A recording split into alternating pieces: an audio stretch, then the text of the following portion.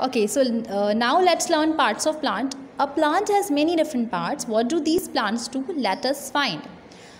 Plants के different parts होते हैं वो करते क्या हैं चलिए हम पढ़ते हैं flowers are the parts of plants some plants that become fruits and seeds these grow into new plants flowers plant का वो हिस्सा कहला रहा है जिससे हमें फ्रूट और सीड भी मिलते हैं और उससे फिर न्यू प्लांट बनता है ठीक है leaves Leaves make food for the plant. Leaves also make a gas called oxygen. We breathe in oxygen from the air to keep us alive. Leaves क्या होते हैं ये पार्ट है प्लांट का लीव्स से हमें लीव्स जो है वो ऑक्सीजन बनाते हैं, एक गैस बनाते हैं जिसका नाम ऑक्सीजन है ऑक्सीजन हम जो है वो सांस लेने के लिए हम इस्तेमाल करते हैं, जो कि हमारे ज़िंदा रहने के लिए बहुत ज़रूरी है roots Roots take in water for the plant from the soil. Roots work like straws to suck up water. They also help to hold the plant firmly in the ground.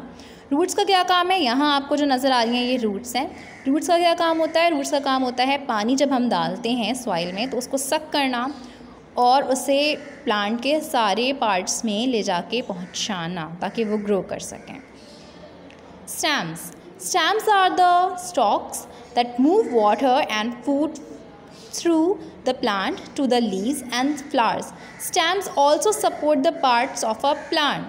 Stem का क्या काम है plant के parts को support करना खड़े रहने में मतलब स्टे करने में, अल्लाह मतलब ज़्यादा ज़िंदगी लेने में और जो है वो स्टे करने में उनकी हेल्प करना। जैसे ये वाला है, यहाँ पे है स्टैम यहाँ स्टैम है।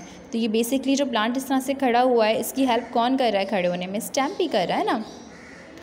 ठीक है, और स्टैम्प दूसरा काम क्या करता है कि रूट जब इसको पानी देती हैं तो इसी के थ्रू जो है वो ट्रैवल करता है पानी हमारा सारे पार्ट्स में।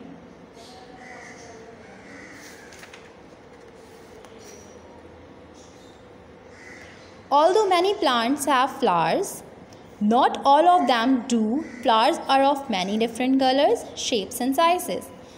Some flowers are also for decoration while some are used for making medicines. Some flowers grow into fruits.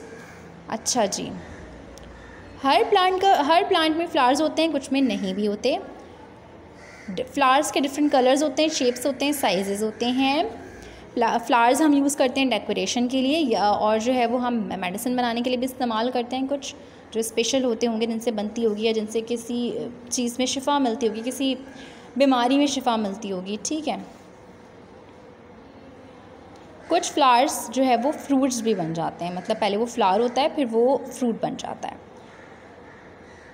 Fruits such as strawberries apples and apricots all grow from flowers All fruits come from flowers, but not all flowers become fruits.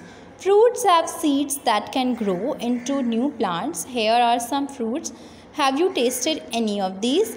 यहाँ कुछ fruits हैं जो कि आप देख रहे हैं कि आपने इनमें से कोई खाया है कभी फ्रूट्स जैसे कि स्ट्रॉबेरी एप्पल एप्रिकॉट ये सब फ्लावर थे पहले और फिर फ्लावर से ये फ्रूट बने ठीक है फ्रूट जो हैं, वो सब फ्लावर्स से आते हैं, लेकिन सारे फ्लावर्स फ्रूट नहीं बनते हैं, ठीक है? फ्रूट के अंदर सीड होता है, जिससे हम सीड को यूज़ करके उसे दोबारा से सॉइल में डाल सकते हैं और फिर हम न्यू प्लांट बना सकते हैं, ठीक है?